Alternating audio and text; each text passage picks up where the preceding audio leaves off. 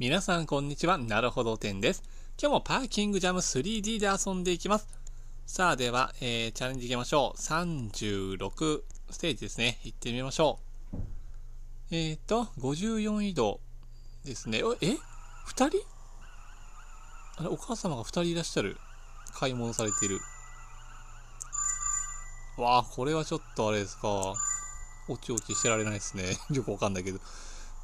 えー、じゃあ、2人分考えないといけないですね。歩いてる場所をさあ、確実に出せるところを出していきますか。これ車出すともしかしたら移動場所変わっちゃう可能性もありますからね。それ気をつけないといけないですね。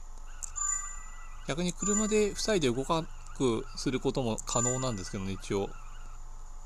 さあ、今日はなるくん、日曜日の朝は冷凍食品、えー、ココイチさんのカレーうどん食べたんですけど、いや、美味しいですよ。もう冷凍食品の進化が止まりませんからね。なるほど、麺類好きですから、この前は、えー、先週は、何でしたっけ、あの、チゲ鍋うどん食べたんですよ、チゲ鍋。ちょっとピリ辛で美味しいんですよね。で、その前が肉うどんでした。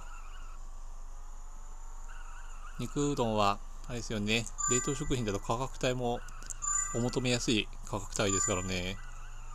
で、その前がちゃんぽんでしたから、あ、他にないですかね。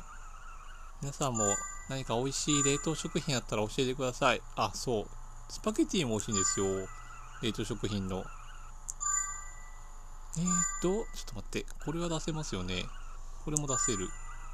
で、こっち出して、お、もうちょっとできる。あ、急移動なら結構余裕ですけど、このお母様に当てた瞬間もうゲームオーバーになっちゃうので、それだけ気をつけておかないと。さあ、最後の この黄色が一番。ここですか？よーし、危ない。